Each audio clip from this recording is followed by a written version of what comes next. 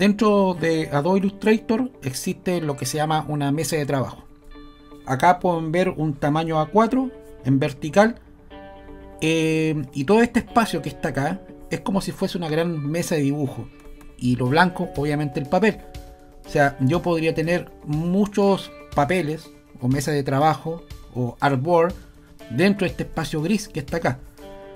Básicamente la mesa de trabajo es el espacio o área donde yo realizo la pieza gráfica. Y todo lo que esté contenido dentro de este espacio es lo que se puede imprimir. Vale decir, si yo hago, por ejemplo, un cuadrado o rectángulo, eh, todo lo que está dentro se imprime. No así si, por ejemplo, está acá afuera, fuera del área, ¿no es cierto?, de la hoja de papel.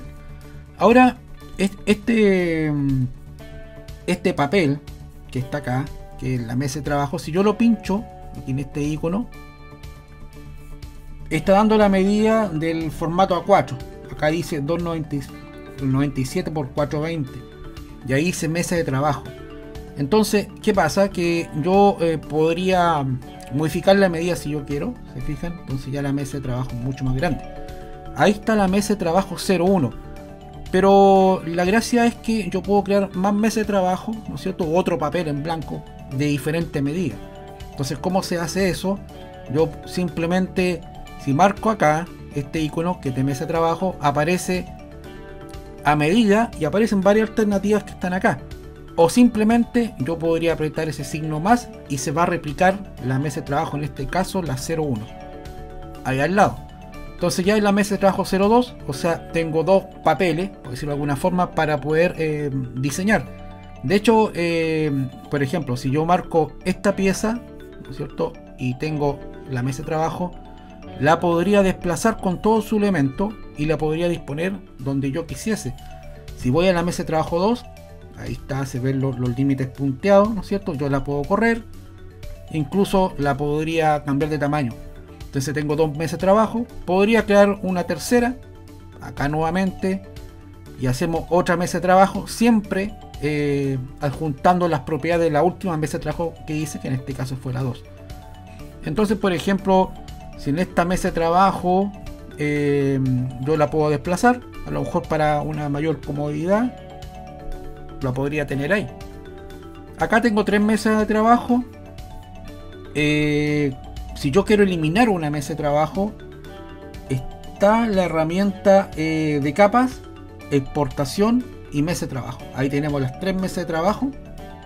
Como pueden ver, eh, yo por ejemplo quiero eliminar la número 2 y simplemente la elimino y ya tenemos dos meses de trabajo. Ahí ya se, se enumera según la cantidad que yo tenga en el espacio. Veamos otro ejemplo. Vamos a eliminar esta mesa de trabajo ya tenemos solamente una, escape y ahí tenemos la mesa de trabajo. Entonces, para terminar, porque esto es bastante sencillo, vamos a replicar. Ahí tenemos una mesa de trabajo número 2. Ahí se pueden ver que se aumentó. Yo también podría aumentar acá. Pero me gusta más trabajar con estos iconos directos que están acá. Entonces, por ejemplo, yo podría seleccionar esas dos figuras. Las copio. Command C o Control C.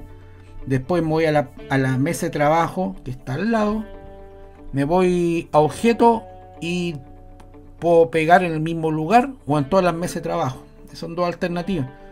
Si yo coloco eso, se pega en el mismo lugar. Ahora la pregunta, ¿para qué sirve que yo pegue en el mismo lugar? Por ejemplo, podría tener una tarjeta de invitación, acá con un nombre específico, pero la gráfica eh, o la diagramación es idéntica, solamente cambia el nombre, entonces pego el nombre, figura, ¿no es cierto? En, en la otra mesa de trabajo solamente cambio el nombre. Y eso permite optimizar más el, recurso gráfico en ese sentido. Ahora, acá tenemos la disposición de las mesas de trabajo, ¿no es cierto? Para enumerarse, incluso para imprimir, pero básicamente eh, esto es lo más eh, sencillo eh, de trabajar.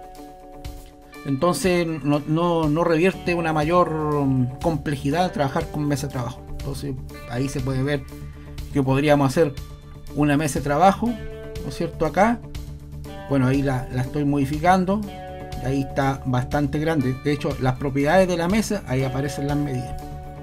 Bueno, eso sería por ahora. Eh, muchas gracias por su atención.